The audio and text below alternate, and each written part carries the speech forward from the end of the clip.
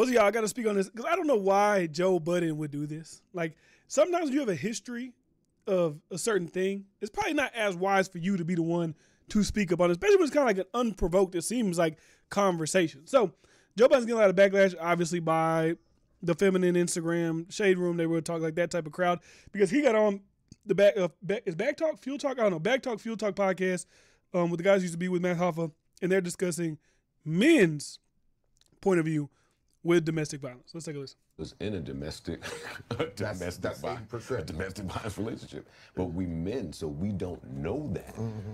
We don't know that if somebody just get up and start, hey, I didn't like, hey, you got a text I didn't like, I'm burning all your clothes. That's domestic violence. Yup. Yup. I was. So when I attempt to stop you from burning my clothes and I hurt your wrist by mistake, and you say, "Oh," sh-" it's like now you got it's something new to defend. But what we don't know as men is because we get abused All the time. and it's you not really a say- safe place to have but crazy? Huh. Now, like I said for Joe Budden, I agree with what he's saying. If a woman attempts to break your shit and you just try to stop them, and you gotta think about it. Like, let's be logical here. Whenever somebody's trying to violently destroy your stuff and do whatever, you might have to be a little bit more physical with them. So if you grab a woman, they're gonna feel like you're force, right? So I get what he's saying. But the thing for Joe is, he's he's we know Joe's a smart guy. He got to know the things that you're accused of in regards in regards to domestic violence is not just I was in there trying to tear Joe shit. He grabbed me and he hurt my wrist. It ain't no these women talking about getting stomped on. Obviously, we Esther Baxter with the the miscarriage sitting on her stomach while she's praying. Like you got deep Rudy shit, not just basic level shit a regular nigga might go through. Your girlfriend saw somebody text you, she tried to grab your phone and throw you grab her, and oh my, my wrist hurt. Like it ain't like that. So I don't even know why he would even go out on a limb to really have a serious discussion about this. I don't understand it. I see people do it all the time. Like, I don't think if like maybe Joe Budden really thinks he's like a great narrative shifter. That he'll be able to to to shift the view on him in a different light. And I just don't see why he would think that. I had an incident one time where me and a lady broke up, and I took the phone back that I bought and was actively paying the bill on. Charges. Charges brought up. Said you stole the phone. There you go. I didn't know. I didn't know that. Grand larceny. I learned. You just that- gotta cut it off. Yeah. yeah, I know that you can't take the phone. I You gotta cut it learned, off. but I mm-hmm. didn't know that. So that's that was a lesson. It's like, oh, okay. If Now, I will say there is a bigger conversation within this for men. I think once again, even if the message is, is somewhat, you know, relatable, the message is a good one to get put out there. Everybody's always gonna go back to who the messenger is and be like, nigga, you can't talk about this. Now, I'm not saying he can't talk about it. He can talk about it. He just has to know when he does talk about it, it's going to be perceived and looked at in a certain way. And a lot of people who you talk to, especially women, because women don't want to, women really don't want to hear that the shit they be doing is abuse. They don't want to hear that. They want to hear, you're the man, whatever I do to you, I can do to you. And when you retaliate, whenever you retaliate, you're bad. Like even for Joe's circumstance, right? His ex Tahiry. We literally saw her on the show launch an apple at her dude in the show's head. Like that's domestic violence. Because obviously, if a guy threw an apple at a girl's head, we're gonna be all in shock and awe and be like, "This is the worst guy ever. Get him out of here. Send him to prison." Right? But she does things like that, and it's she's still like, "Damn, that bitch is crazy." But it's not to the level of, "Oh, we need to get her out of here. She needs to be canceled. She can never speak on abuse." Because when she speaks out against Joe, you don't really see that. You see like a lot of men, like even I mentioned, like, "Bitch, you threw apples at niggas. You beat on people. Like, what are you talking about?" But it never sticks the same because women will always be perceived differently in a domestic dispute differently. Like I said, a guy could get slapped, hit over the head with a bat, punched, elbowed. He do one little mush, abuser. The what? Like that's how it is. And men just got to realize that. Now, like I said, it is a sticky situation with the situation he brought up. A woman's destroying your property. What do you do? I grab her, in her thrusting around, I might grab her and hurt her. Look what happened to look what happened to Jonathan Major. Jonathan Major got charged, if you really read it, because when he grabbed the lady, she got hurt. So him trying to prevent her from assaulting him, and she got hurt in that process, he got charged with. Even though we saw him actively running away from the woman after that took place. But the fact that he harmed her in the car, trying to restrain her, he got charged. And I think that's what Joe's talking about. Because that thing is very real. And we saw it happen with Jonathan Majors. Now, he can get a felony, he can go to prison, he can go whatever, but like, he lost a lot. He was the new villain for Marvel.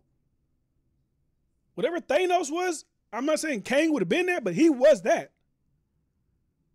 And he lost it because he grabbed the woman when she was attacking him. Now, I say, y'all correct me if I'm wrong. This is what I remember reading. He got charged with that. So yeah, it is. It is like the the, the conversation is a good one. Is I be thinking Joe is should will be smart enough to know like nigga, you probably ain't the one that really had that conversation. Especially because like when you hear the abuses alleged of Joe Budden, it's not just oh girl tried to rip my shot, grabbed the wrist. It's stomping, drag me from the car all the way to the house. Like it's different type of shit. Now is it all true? Who knows? But that's just what's out there about him. So it's kind of hard to hear him talk about it and be like, nigga, we come on. You just grab they burnt the shit and you grab the wrist. Like come on, stop it. But um, but yeah, I think I think it is a good message for men to try to navigate and figure out when they're in a domestic violence dispute or something. Most men are never going to be like, yeah, I'm in a domestic violence thing because as a man, you're just not going to do that. Like, yeah, I'm a, I mean, domestically abused by my woman. You ain't gonna say that. You like, I'm not gonna figure it out. You like a lot of a lot of niggas who in domestic violence relationships. You know what they call that girl? They just call her crazy. Oh, she's crazy. Don't worry about her. She's crazy. But she thumping you over the head every night.